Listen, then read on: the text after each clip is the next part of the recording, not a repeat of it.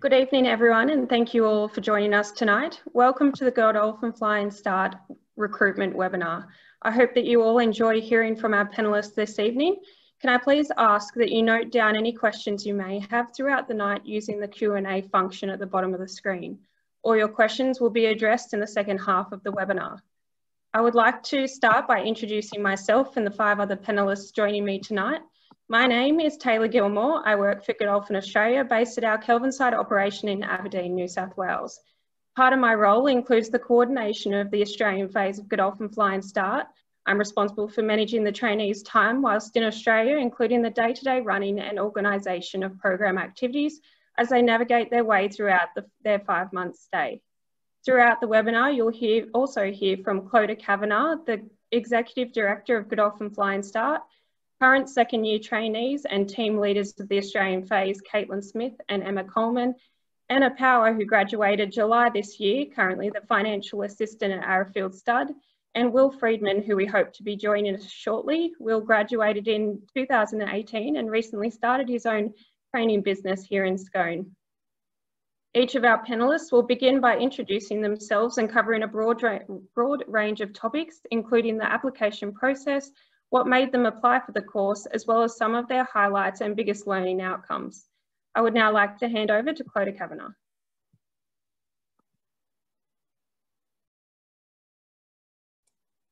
Thank you very much, Taylor.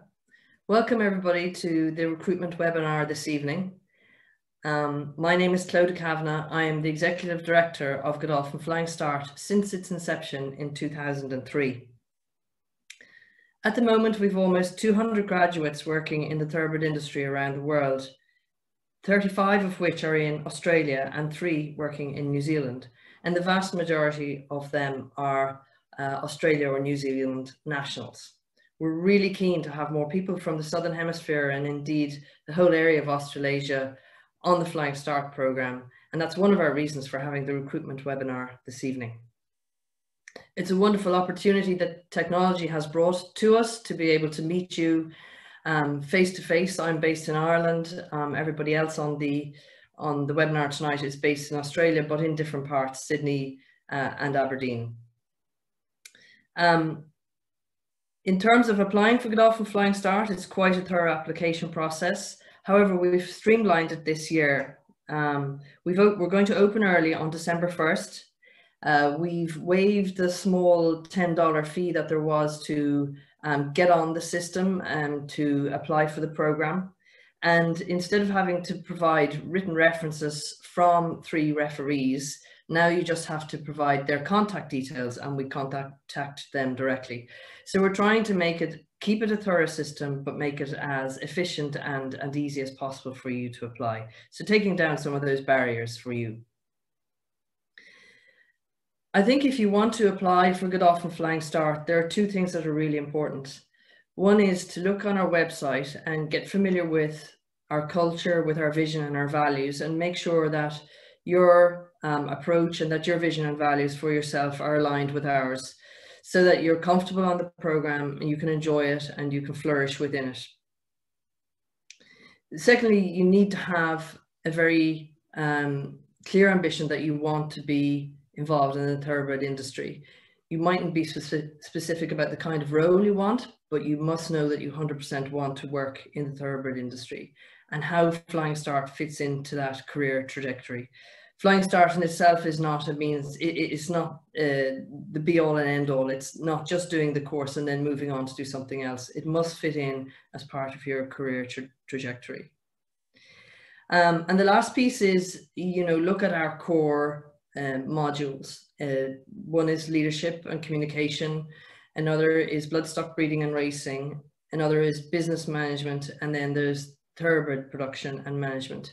And make sure they're the things that you're interested in doing um, because there's quite a lot of academic work as well as coursework as well as hands-on work as well. So if you feel your values and vision are aligned, if you really want a career um, in leadership in the thoroughbred industry, um, and if you feel that you will be comfortable and you will develop within those core modules, then hopefully Godolphin Flying Start is for you and we'd love to hear from you. Thank you very much.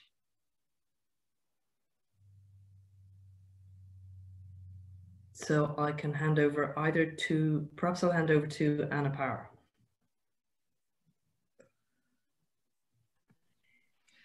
Thanks, Clodagh. Hi, everyone. Um, as Taylor mentioned previously, I graduated from the course in July this year. We graduated via Zoom um, due to the circumstances with COVID. But uh, one thing I will say is that regardless of the situation, the team at, at uh, the Godolphin Start worked tirelessly to make sure that the experience is the best it can possibly be. I didn't feel like I missed out on anything, even though I was halfway across the world. It was um, a really great way to finish off the course. So I applied um, because I had heard about it when I was around 15. Uh, I grew up in the city, but I always loved horses and I spent my holidays um, doing work experience at a breeding farm in the Hunter Valley. And then when I was in university, I worked for a trainer called John Thompson in Sydney. Um, and then I did some, I studied accounting and agricultural economics um, at university, and I did a placement at Arrowfield Stud. Um, and while I was at Arrowfield, I really was exposed to some of the graduates of the course. At the time, there were two graduates working for Arrowfield, Vicky Leonard and Andy Williams, and their knowledge of the industry and leadership abilities really inspired me and wanted me, uh, made me want to um, pursue my ambition to get on the course. Um, the application process was long, but it's so worthwhile. And my advice would be don't be disheartened or um, you know overwhelmed by the process because if you just chip away and think of it as little little blocks and you do bit by bit um, once once it's over it's it's fantastic. Um, my advice would be to have a look at the CVs of the current graduate uh, current trainees um, to see kind of what the standard is of what what you might need or get some inspiration for different experience um, that you can get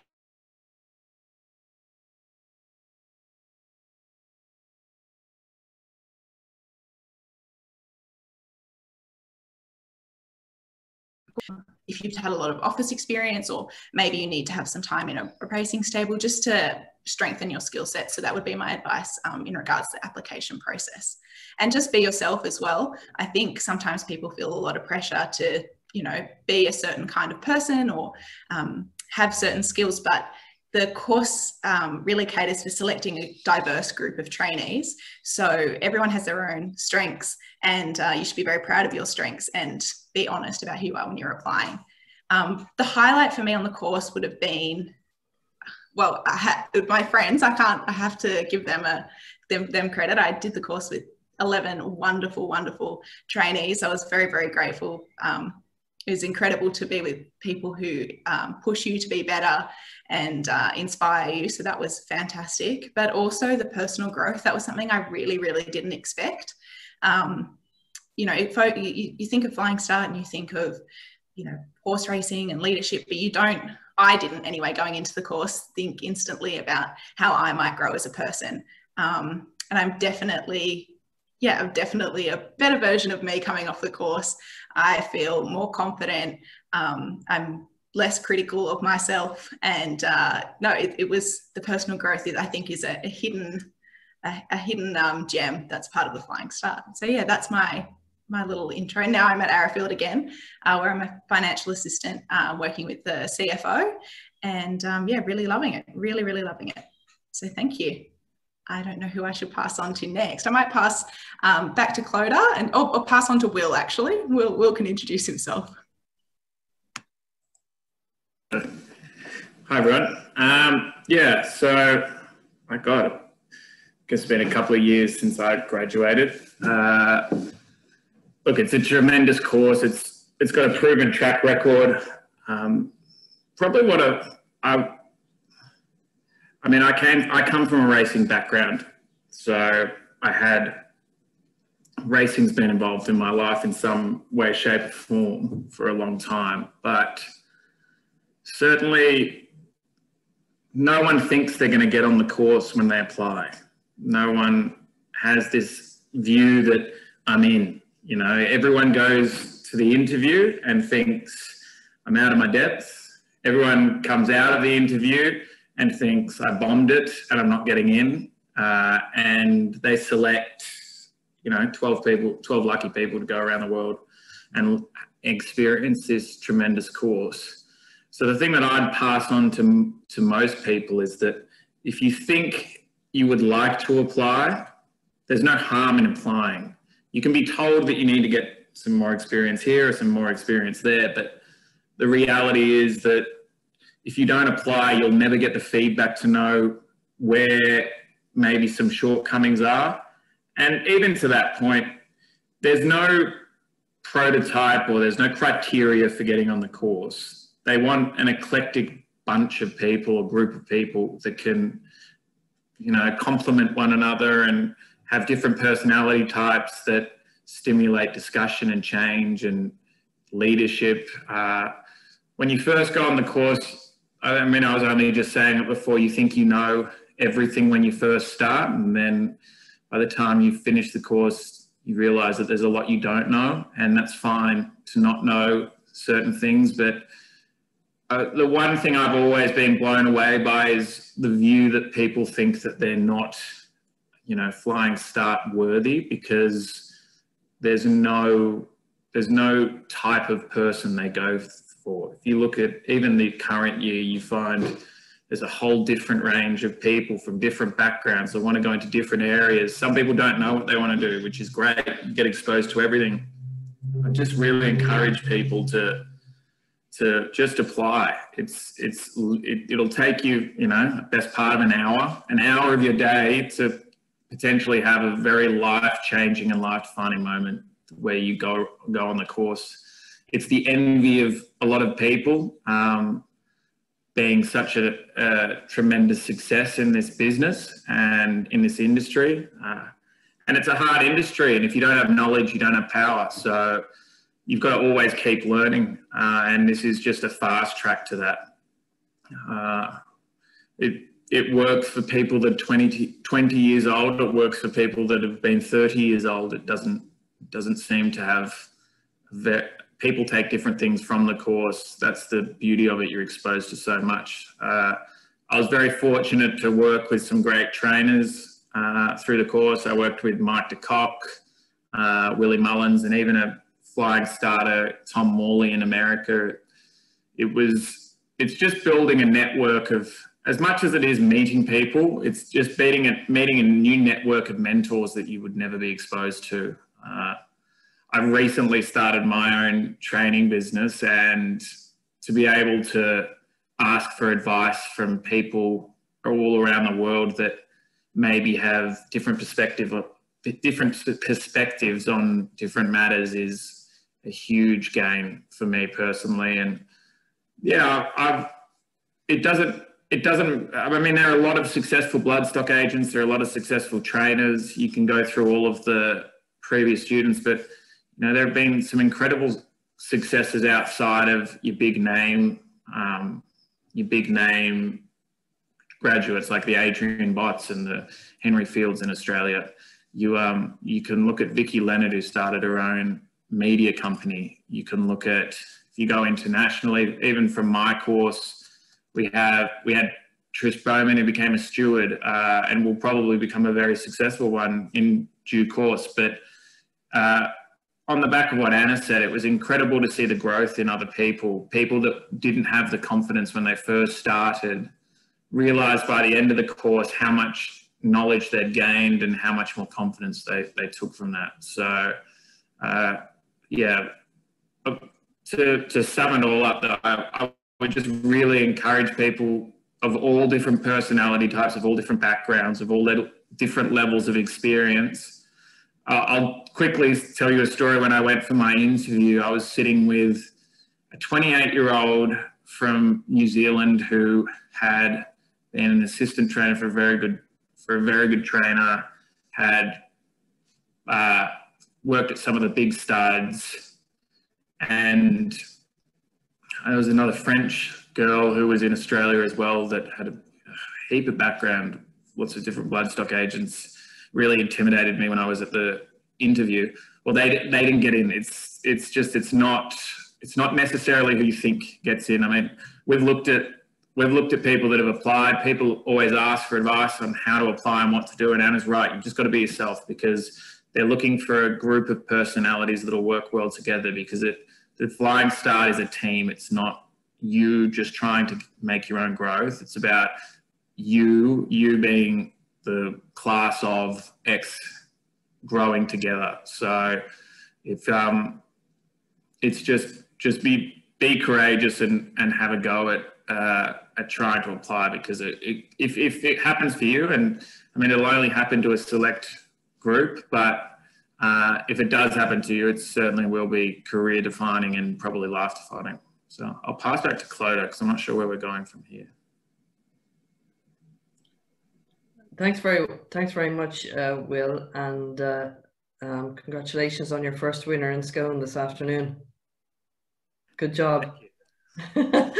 um, well, why did we bring in this year's trainees then, Caitlin and Emma? And I'll ask uh, Emma to come in first, and then we'll we'll wrap up what we're going to say with with Caitlin, our Australian um, member of the team for this year, and then we'll hand over to questions. So Emma, if you'd like to come in next, that would be great.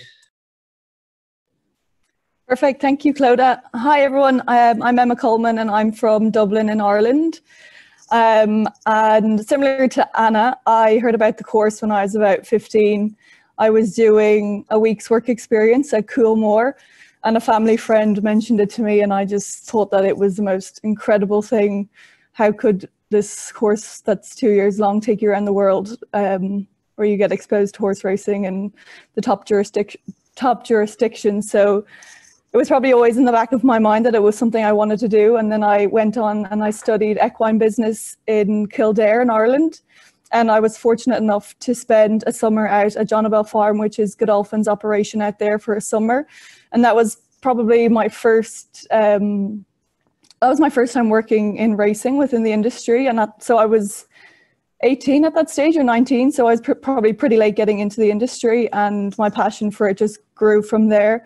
Um, I was also lucky to get to do a year-long placement, and I decided to spend six months in New Zealand at Curramore Stud, and then I came over here to Sydney, and I spent six months with Chris Waller, and it just made my appetite grow even more for the industry. And then I was probably a bit torn between if I was going to apply, probably like Will, if just just apply, like there's no harm in applying. And I was probably considering maybe leaving it a year. I didn't know if I was too young to apply straight after college, but I just went for it. And as Will said, again, you don't expect to get it when you apply. You you kind of cross your fingers, say a few prayers, and hope for the best. And um, luckily enough, I managed to get a spot on the program. But um, yeah, don't I wouldn't be too concerned about timing and everything. If you feel it's the right time, apply. And if you're still maybe hemming and hawing about a little bit, there's no harm in just going out and applying and putting time, but definitely put time into your application process. That would be my biggest um, piece of advice to you all. It's not, it's definitely not an overnight job. I spend probably hours on my CV and my cover letter and I think another huge piece of advice I would say to you all is definitely reach out to the graduates or even the current trainees on the course. Um, they helped me a huge amount in my application course, uh, specifically Elena Cullen, who works for the TDN back in Europe.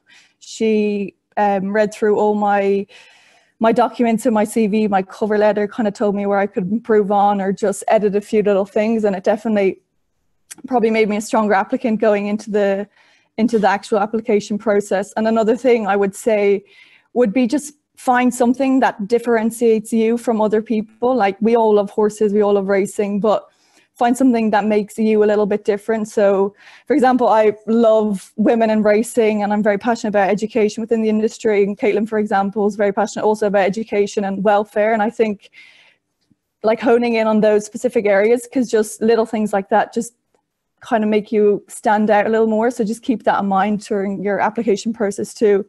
And also, as Anna said, try and mimic the template a little bit of the CV that's on the website because that just kind of points you in the right direction as to the pieces of information that they're looking for. So it's very helpful when they um, the management team receive your CVs that they know that you've taken the time to look on the website and actually study the areas that they want to know about you and the different areas of that. And another piece of my advice was to get in touch with your references in time, but seeing as that's changed a little bit, you probably don't need to, but definitely notify them that they could be expecting a call so that they're not, don't get too frightened when the phone call comes through.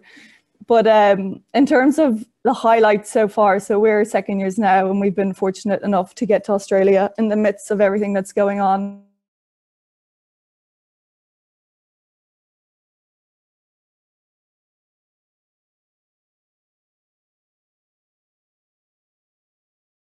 in Europe. So we spent like three months in Kildangan and then seven weeks out in Newmarket. And the highlight for me was definitely getting to go to the Orby sales and the Tattersalls um, foal and mare sales. And I followed the same agent for both, uh, which was Philippa Maines and her mom, uh, Harriet Jellett. And I was just so fortunate that they were so inclusive of me during the sales. I was probably, was very new to the whole sales process, but on, probably in the beginning was a little nervous of conformation and pedigrees. I was very weak on all that. Still am not an expert in any way, but they were so willing to teach. And I think that's one thing that I've definitely learned in the past year is that people in this industry love sharing their knowledge and they love helping people. And I think that's something we need to be very proud about. I'm proud of of being part of this industry that people are very open and approachable, um, which has been incredible for me over the last year.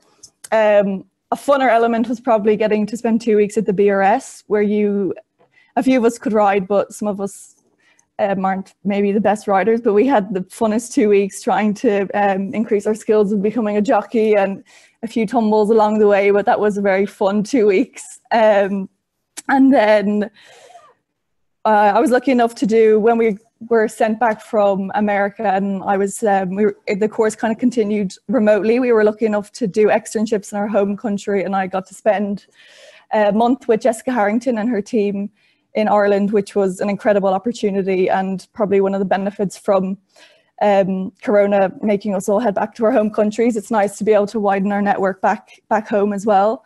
And I'm so happy that we're back in Australia. I absolutely love the industry here. It is so vibrant. It's, I think it's just so different to anywhere else in the world. And I think all the trainees, quite a few of us have had experience out here before, which is nice, but I think everyone's loving it out here. And at the minute, I'm actually lucky enough to be spending time with Will. So I was there with him today for his winner at Scone. And it's little moments like that. You just see how much it means to Will. And even though I've only been there since Monday, it was such a big thrill to see him get his first winner there. And it's sharing those moments with people when you, you kind of have like the graduates and your trainees become like one big giant, it's almost like a big family that you can always reach out to and you'll always have that like support system around you as the same as Clodagh and Martin and Melissa and Taylor here there's always people you can reach out to. You'll never feel like there's a question that won't be answered or you're stuck on your own. There's always people there to support you.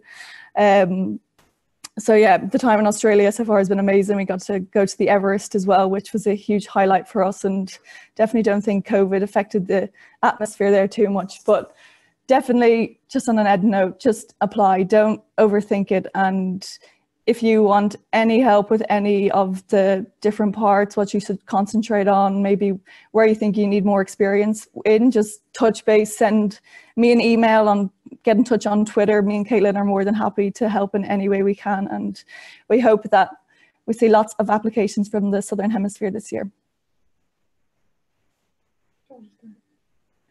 Yeah. Hi, everyone. Thank you so much for joining us this evening. Um, it's great to see plenty of, plenty of you on board. Uh, so I'm Caitlin. Um, I'm one of, another one of the second year trainees down in Aberdeen at the moment. Um, so I was fortunate, uh, like Will, to have grown up in a racing family, um, albeit quite a very uh, small operation. Um, but I went to university and did animal science um, with honours and then got some extra experience in other racing stables and a local stud farm at home. So I'm sort of a bit different than a lot of the people on the course. A lot of the course, a lot of my um, peers have international experience, but I didn't have that on my CV, which I thought was going to be a huge downfall for me. Um, but I applied anyway because I thought, um, you know, I may as well. What's the worst that can happen? And I think that's probably my biggest recommendation would be to like. There's no right or wrong way to get on the course, and I think that sort of hones down onto being authentic and being yourself. Uh, so although it's good to mimic uh, the past graduates, their CVs, because um, obviously they've got on for a reason, I think it's really important to do what you think is right for you. and what fits into your um, sort of realm of um, expertise. I would also uh, say to really familiarize yourself with the program and what it's about.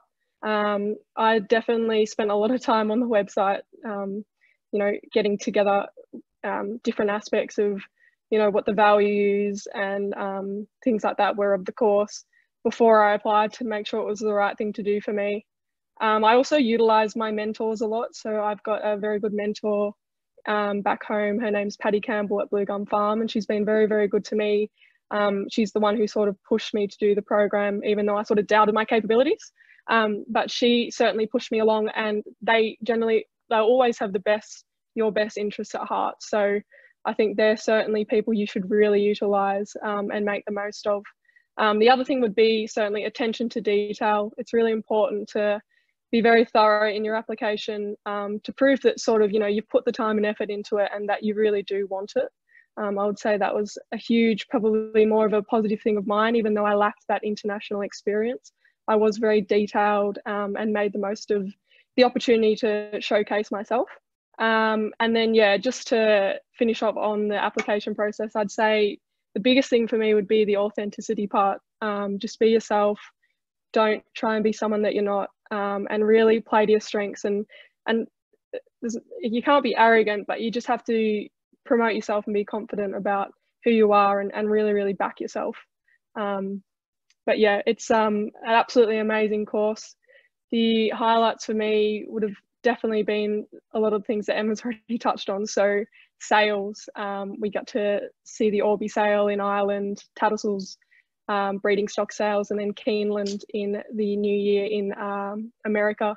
Um, so, and we'll get to follow some of the leading international bloodstock agents, which is an amazing opportunity. And then in terms of personal growth, I can't believe how far I've come since the first uh, few days of the course. Like I was quite a, I wasn't a shy person, but i probably a little bit standoffish in some in some aspects. But I can't believe the confidence that I've got as a result of the last year, and that's just through um, the course throwing throwing us in the deep end, putting us ourselves out there, you know, um, presenting to industry people. It's it, it is quite intimidating, but it's honestly the best thing you could ever do in terms of personal growth um, and leadership. And then touching on the leadership, the opportunity to lead. Emma and I are team leaders at the moment. Um, so it's what we do is we lead the rest of the group throughout this phase, and we're sort of the middle um, people between Taylor, who's our coordinator for Australia, and Clodagh, and we feed things back to the group, any issues and communications. Um, we sort of organise different aspects, but that's been absolutely incredible to it's you know leadership on a smaller level but it all really really helps it's going to um, definitely help me in the future for sure. Um, but yeah, I'm certainly looking forward to seeing more Australian applicants. I really push you guys to to get on board. Australia certainly is one of the most prosperous racing jurisdictions in the world. Um, we're very progressive. We've got strong prize money, really, really good people. We're a vibrant young industry, as you can see. Um, so yeah, I really hope to see some applicants. And as Emma said, please get in touch if you have any questions always more than uh, willing to help. Thanks very much, Caitlin, and everybody.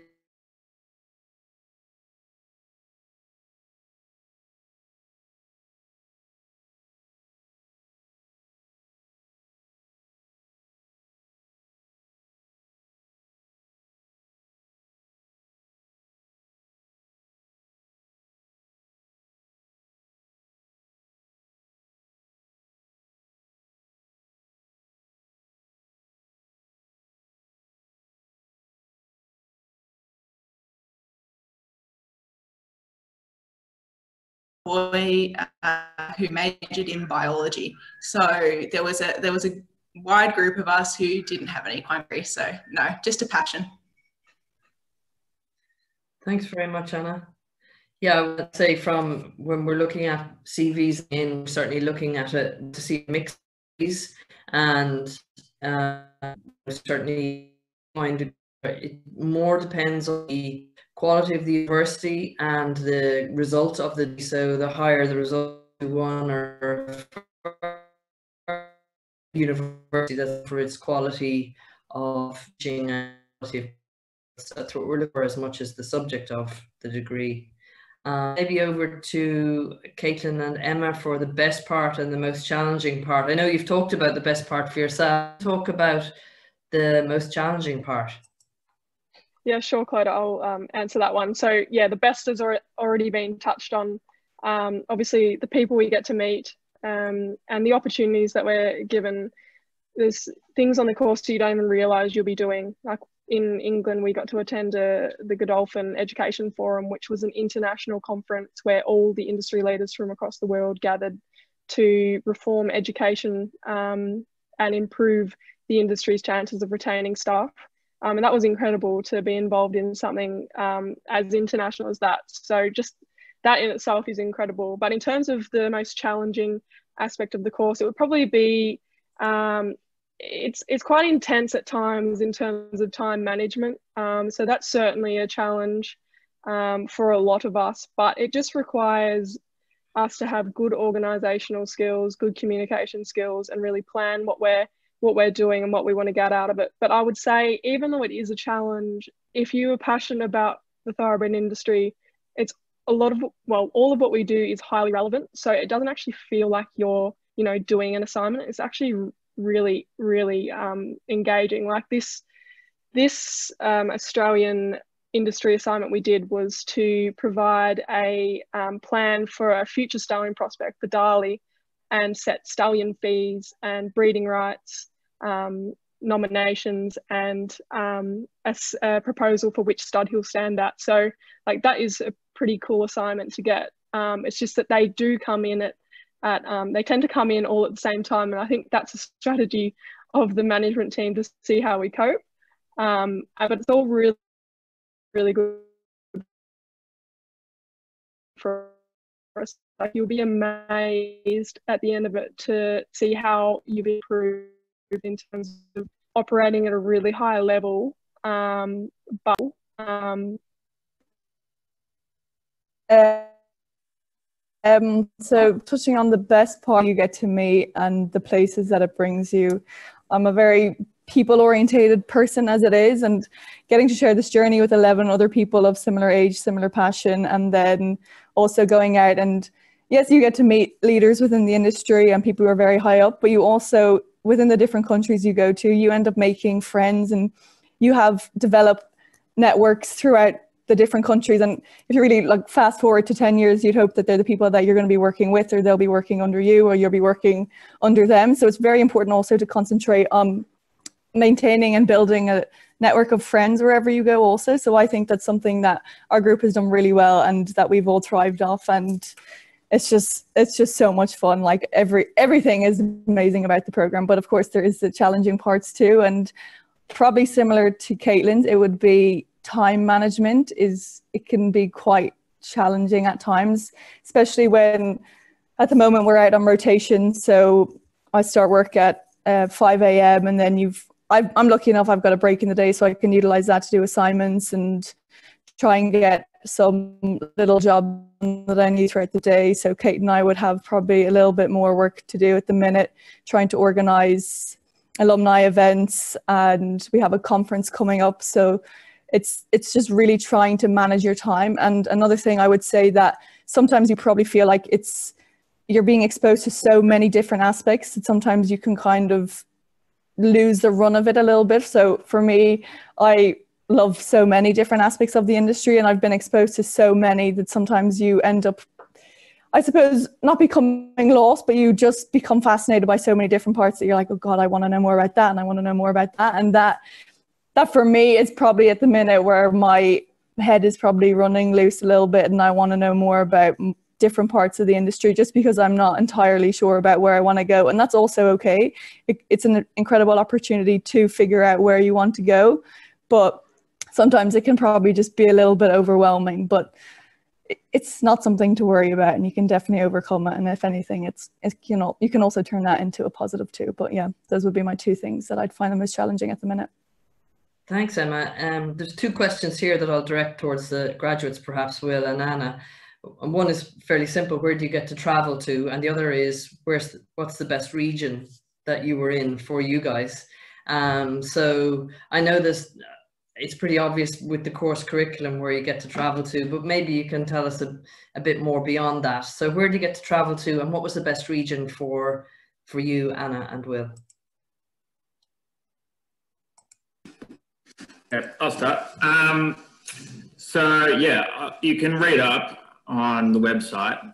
Uh, I mean, for for as long as the course has been around, we've gone from Ireland to the UK to America and Australia, Dubai, and then back to Ireland. But there are some opportunities to go to France, and there are some opportunities to go to Japan as well. So you're really getting a, a full coverage of world racing. I mean, there's uh, that arguably covers all of the major racing jurisdictions in the world.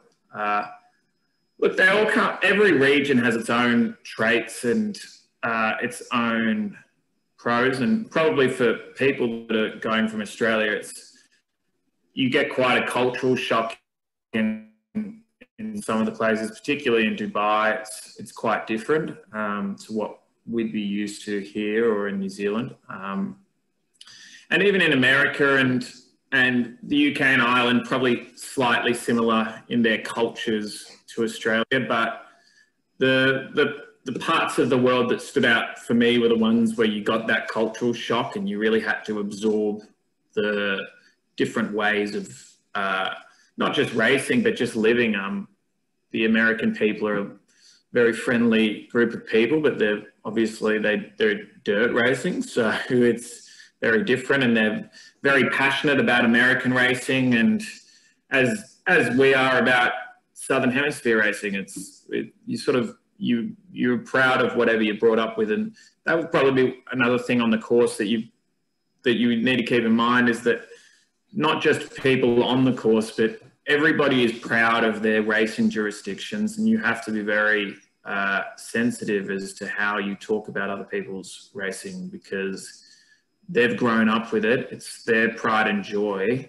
And like we have in Australia, we're very proud of what we do here. But I would definitely, to answer the question, back to the question, I would definitely say that uh, I found Dubai, looking back on the course, I mean, while you're, while you're doing the course, there are pressures and different parts that make some parts more enjoyable than others. But the being in Dubai and seeing Sheikh Mohammed's what Sheikh Mohammed's built from nothing and how racing survives without gambling, which is very different to Australia, um, is really eye-opening. And you look back on the course, and while you're there, it may seem normal at the time, but you look back on it and, and think that was something that not many people got to experience. And just to, uh, to go back to maybe some of the things that you should look at before you apply to the course. And I think it's just out of respect to Sheikh Mohammed, you should really get to know what Sheikh Mohammed's values are himself, what he stands for,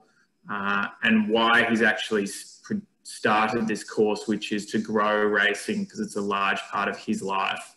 Uh, it's a very, very privileged honour to have a man who doesn't know us intimately um, to fund us to travel around the world. It's, it's a, I would just say out of respect, it's, it, it's worth taking some time to see the incredible feats that he's done. So I'll pass on to Anna. Thanks, Will. Yeah, I'd agree with everything Will said. Um, Dubai is it's very, I'd say it's a very special place. Um, it, it's very, despite being, you know, recently developed in the scale of, of countries around the world, it, has got a lot of culture and history and it's a very interesting place. Um, places that uh, I got to travel while I was on the course that aren't on the like prescribed list. So in America, you're based in Kentucky, um, but I got to visit Florida, I visited New York, I visited uh, Nashville in Tennessee. So I got some time to see a bit more of America. And I did my um, five week US externship in California at Santa Anita with um, Hall of Fame trainer Richard Mandella, um, which without a doubt was the highlight for me. I absolutely loved it. He is just such an incredible horseman, and to have the opportunity to spend um, so much time with him every day and to learn from him was just absolutely incredible. And so, if anyone's ever thinking of um, thinking should they go to Santa Anita, I would highly recommend it. It's a stunning racetrack um, and really like really just really really interesting um, people, so dedicated to their horses. Um, yeah, no, so Santa Anita was a real highlight for me. Um, just because I got to learn so much and really experience American dirt racing. It was great. Thanks very much, Anna. Uh, questions are rolling in here. I think there's one here that Taylor could answer for us, and it's just um, say, Taylor, how much of the trainees' time is spent in the training room or having lectures or workshops or um, that sort of thing, and and how much is spent outside with the horses or on visits? Sort of an approximate breakdown or what it looks like for the Australian phase at least, which probably reflects the rest of the phases. I think it'd be probably um, 80% practical, 20% theory in Australia. You probably, um, so we have an induction week. Oh, there's two weeks of inductions really. So um, it's all the basic, um, I guess, processes and procedures within Godolphin. And then you move out to, to uh, visit all the practical, uh, sorry, the Hunter Valley, leading Hunter Valley stud farms and learn from all the key industry breeders around the area. Um, you'll move into uh, practical rotations, there's externships. Um, you do a module, a week long module at the Macquarie University in Sydney on leadership and motivation. Um, there's also a conference, um, a week of um, Godolphin management workshops where you apply uh, five different, um, so it's finance, IT, uh, bloodstock, uh, HR and WHS um, to a mini business plan to then present back to those that manager, managing group um, within Godolphin. You also spend some time with Godolphin nominations team, um, so it's very well rounded. Um, yeah, hope that answers the question. Thank you, Taylor. Um, maybe one for Caitlin and Emma. Um, Caitlin, if you'd take the first part, what was the most challenging part of the application process that you found you needed to dedicate more time to? and then um, or maybe we'll do this the other way around actually emma if you wouldn't mind answering that and then the second piece i'll give to caitlin because it talks about have you found the courses touching on lifetime care internationally? And is this a, as high a priority as it is becoming in australia? So the application piece for emma and then maybe the lifetime care aspect for caitlin is that okay? Thank you. Um, i'd say for the initial application process so the cover letter I think has to be two pages long, which if you look at it is it's a lot two pages is quite a lot of writing, but it's also not that much if you're trying to get across your personality, your experience, your goals within the industry, why you're applying, what appeals to you within the program. And I think the cover letter, Clodagh and Joe, who do the interviews and the different representatives and the um, where they do the interviews so all all around the world they met the majority of you ever. So you really need to create who you are and put it on a piece of paper. And i think that's why some people mightn't spend as much time or don't think the cover letter is as important as maybe their cv or something. But for me i spent the definitely the most amount of time on my cover letter and I gave it to several people to read and also people who aren't in the industry and they would they would look at um, applications jobs on a regular basis and they can give you feedback into it and it's good to get I think and what skills you might need to add in to it and just generally structuring your cover letter so I found that probably um, just kind of get my final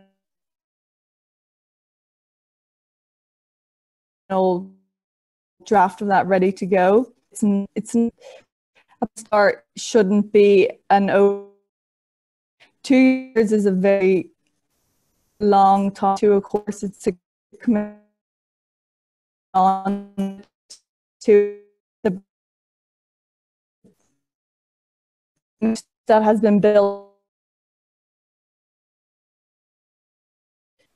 it's a it's a commitment to your your own personal life and your professional life so i think if you're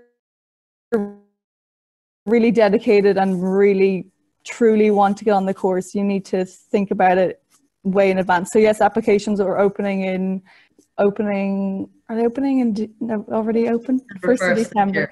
Yeah. So you don't want to be putting your application in on the last week. That is absolutely just don't. There's no need to cause that stress in your life. I'd start even working on a little bits as weeks go by, doing an hour here or 20 minutes, and just try get your application in, and just be happy with and read it over as many times as you can, or not too many times because then you'll just become a bit of a perfectionist about it. But uh, yeah, I would say definitely that was the most challenging for me, the cover letter. So and yeah, I'll dedicate the time second to that. part, which was touching on lifetime care. Uh, so it certainly is something that we do touch on. And to answer the second part, it is a huge priority internationally. Um, it's probably one of our most discussed topics when we travel around the world. Um, certainly is the biggest in Australia and is becoming probably the biggest in Ireland, England, and America as well. Um, so we, like in the UK at the Godolphin Education Forum, although it was centered around education um, and retention of staff in the industry, it had a large focus on our the perception of which is largely from an animal welfare perspective. Um, so around the world, which was uh, uh,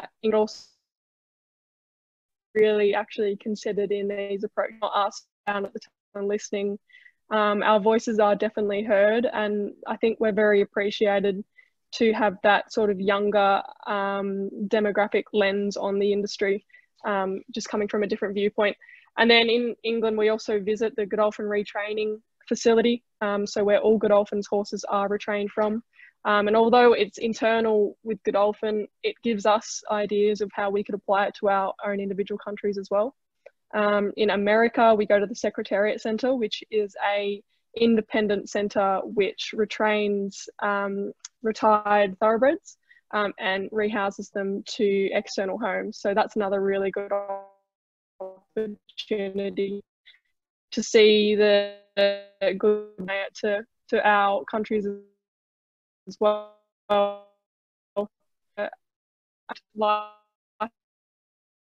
After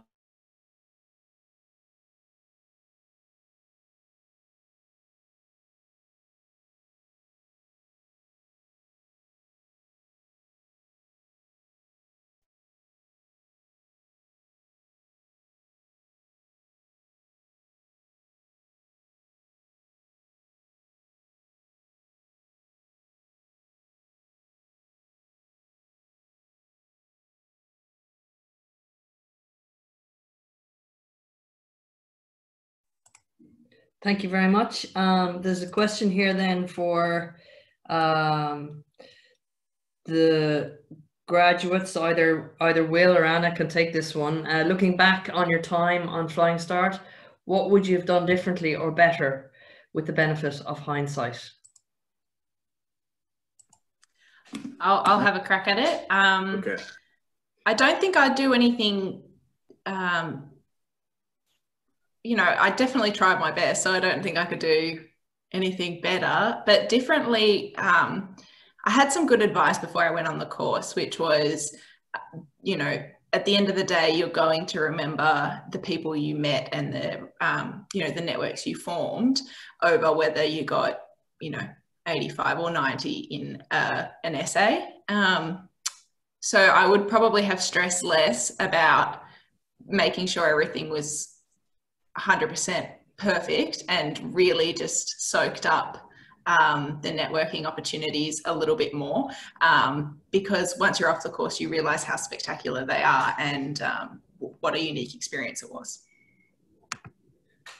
Thanks very much, Anna. And there's a question there for you, Will. And did the course influence you to become a trainer or did you know you wanted to train from the outset?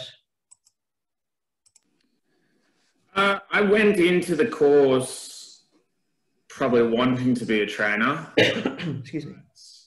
I probably realized how little I knew pretty quickly um, when we started. Uh, the the course exposes you to so many different. Uh, firstly, I should say, just basing it off my experience, probably isn't a very big sample size. Plenty of people start the course wanting to be bloodstock agents, trainers, and realize during the course that they actually want to do something else. Um, probably one thing about the course to keep in mind is to it's, great to have ambition and a view that you want to do different parts, but the one thing, and just to touch on what Anna was, um, the question Anna was asking is, I really wish that I started the course with a more open mind to everything else. I was very horse racing training and didn't didn't give a lot of like a lot of thought to other parts of the industry to begin with.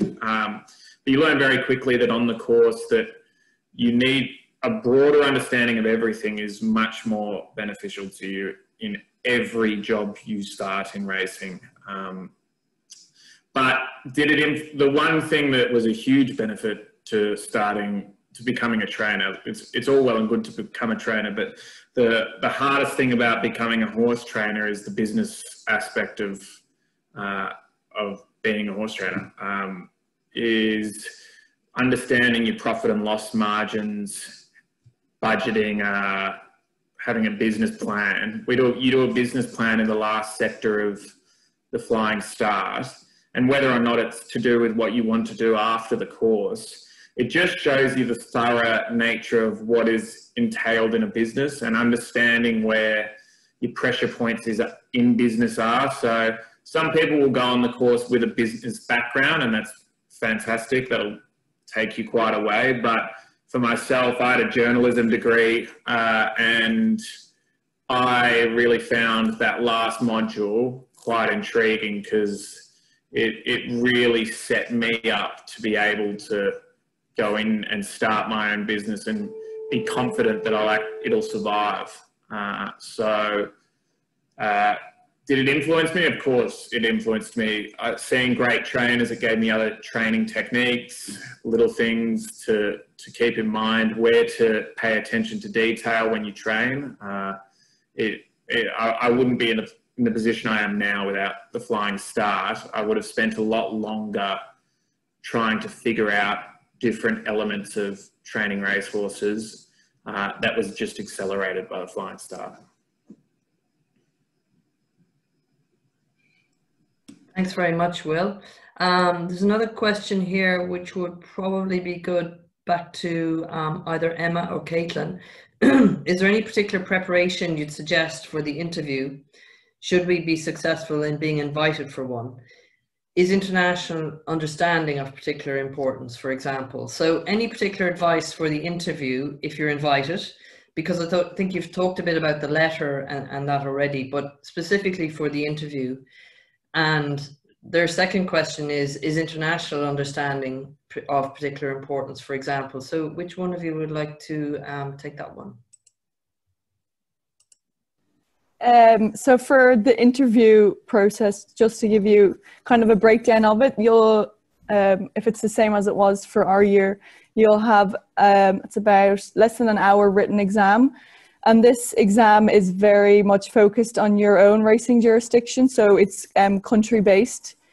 Um, so you'd want to be quite familiar with sales results, race results of that year, um, stallion premierships, first season stallions, the good two year olds and three year olds of the year, and kind of the winners of the classic races and the big group ones. They they can it's not challenging i probably spent too much time studying for that written exam and was reading the tdn and the irish field and the racing post so far in advance and keeping notes and like continuously looking back at them and i think that you don't need to go that in depth into it probably. There's key things that will come up and also some bits on general management of horses like feed and um, like course for trainers. And it's just it's kind of basic things. And another really important thing for your interview process, I would recommend everyone to be very familiar with the graduates in your country, their roles, and kind of the impact they've had on the industry, because the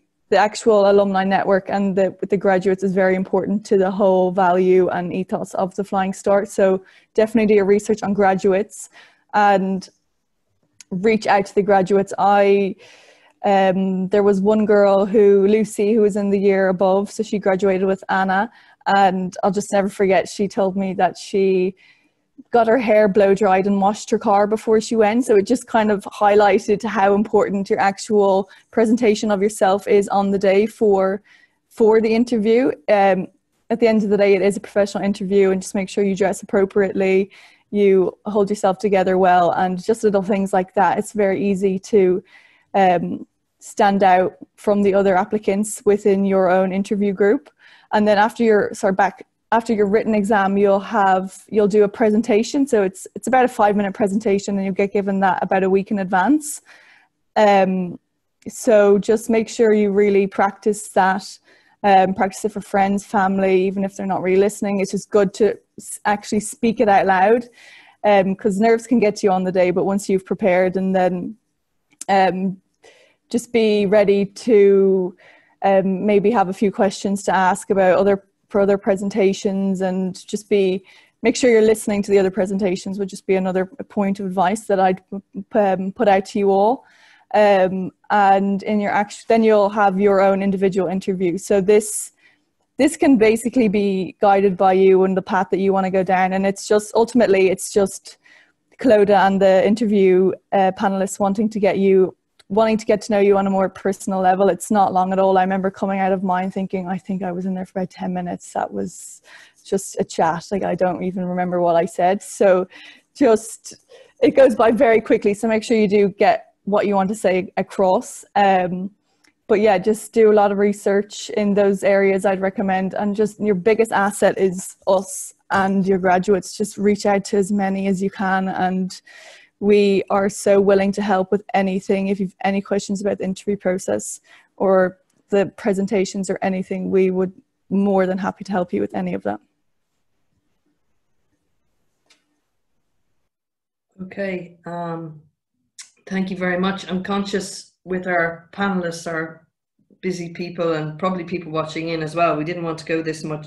We wouldn't. We didn't want this to go much over an hour. So there's five or six questions here, which I think I can answer fairly quickly, and they, they got to do with more the running of the course and, and the future of the course. So, what costs does the scholarship cover? Um, covers almost all costs. Um, your housing, all your utilities for your housing, um, your transport, including car rental, fuel, tax, insurance, flights, uh, legal fees for visa applications, you know, immigration agents, covers health insurance for the two years. Absolutely everything you can think of that um, might cost you a lot of money, all the big costs, and there are no course fees either. On top of that, trainees get an allowance every month. So really it's more like a job than being in a, a university situation or something like that. And the idea of having all of that financial support is that there are no barriers to entry for um, people who don't have a lot of money in the bank or can't afford to pay to do another course, that this course um, um, provides all of those supports and an allowance every month so so you can attend. So really makes it very much equal opportunities. Um, so that's that one done. And um, can I apply right after I've graduated from high school?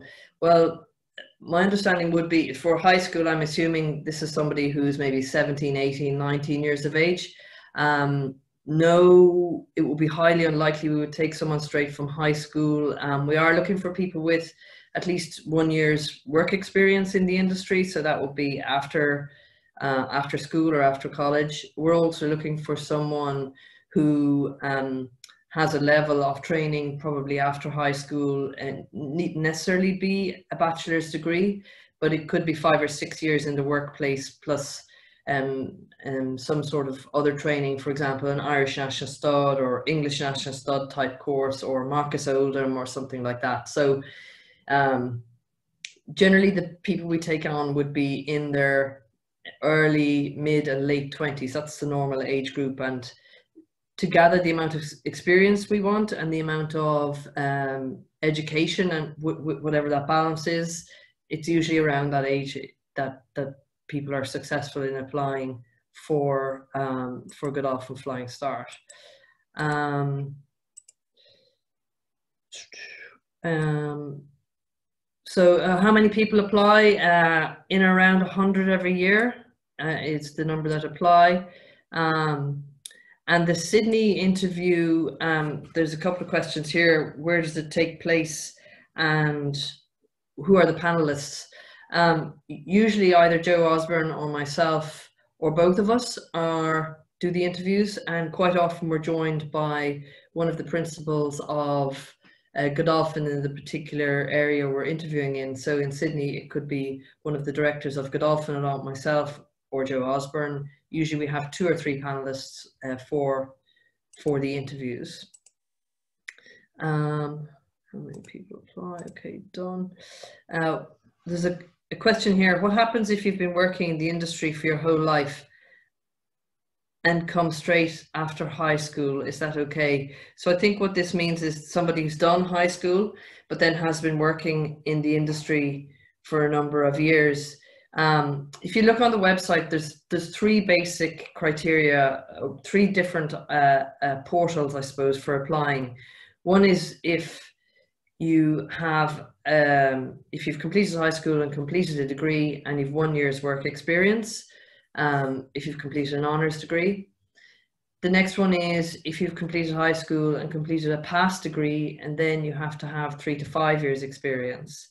And the last one is if you've completed high school to a good level, um, and then you need to have five to 10 years experience in the industry in order to uh, be eligible to apply for Flying Start. It might sound a bit complicated, but go to the website, have a read of it, and please get in touch if you need any more detail than that.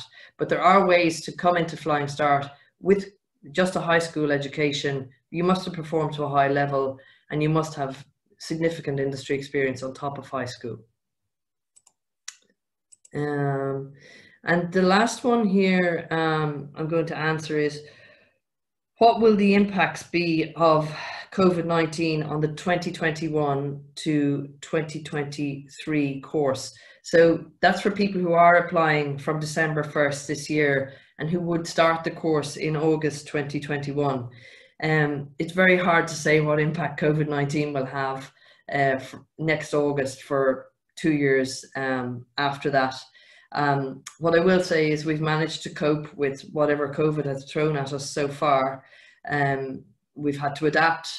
Uh, we've been able to deliver the main parts of the program, both practical experience and academic so far. So we're very positive about being able to deliver uh, on the 2021 to 2023 course um, with with the way COVID is, you know, the world is coping with COVID at the moment. We hope that things will look a lot better by next August.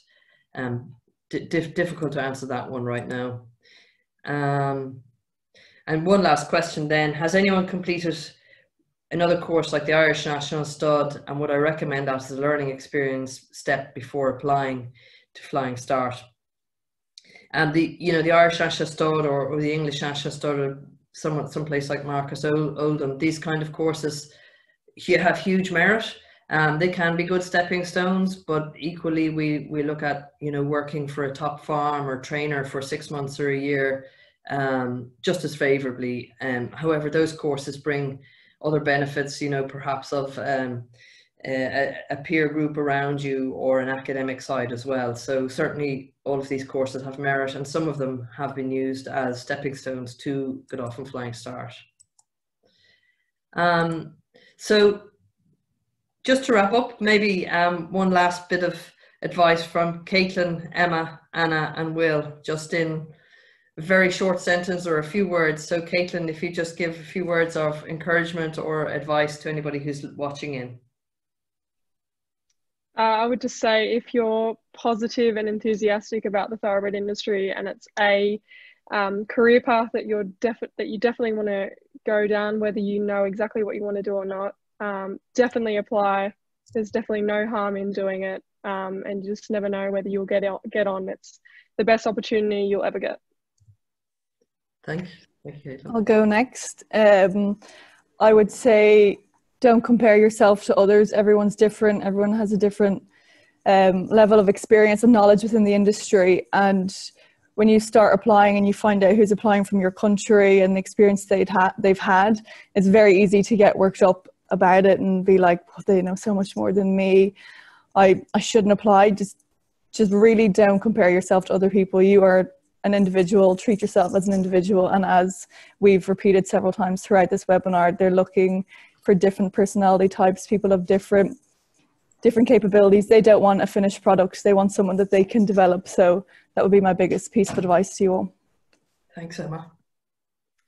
Um, my piece of advice, seconding what the girls have said, uh, would be ask questions. Ask ask questions to your boss at the moment, to people who work in the industry, to graduates of the course. Um, learn as much as you can. Make sure it's the right fit for you, and um, yeah, just keep asking questions. Keep learning.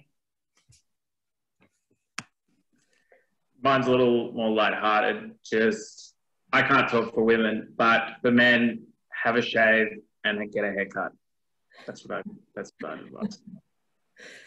You're bringing some of my pet hates to the table, Will. Um, look, I, would like to uh, I'd like to thank the panelists, uh, Caitlin and Emma, our second year team leaders, for um, being with us this evening, putting the effort into answering the questions and preparing. I'd particularly like to thank Anna and Will. Will, as I said, just trained his first winner at Scone only a couple of hours ago and then had to go and deal with a storm as well. And and is very busy in her role in in Sydney, I know as well. So really appreciate you guys bringing, you know, that reflective piece of being able to look back and, and have a bit of humor and, and wisdom as to what were the highlights and what were the tough parts of the course for you.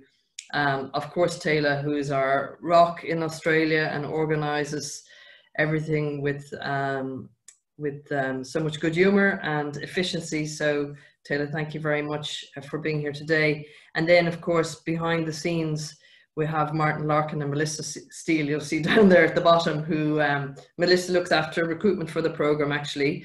Um, and we're going to have another seminar for Northern Hemisphere applicants in a couple of weeks and Melissa will be a panelist on that. And Martin's looking after all the tech here today. So, and thank you to the nearly 40 people who attended the um, seminar um, today as well. We hope we hear from some of you uh, applications opening in December 2020. Thanks again, everybody. Bye-bye.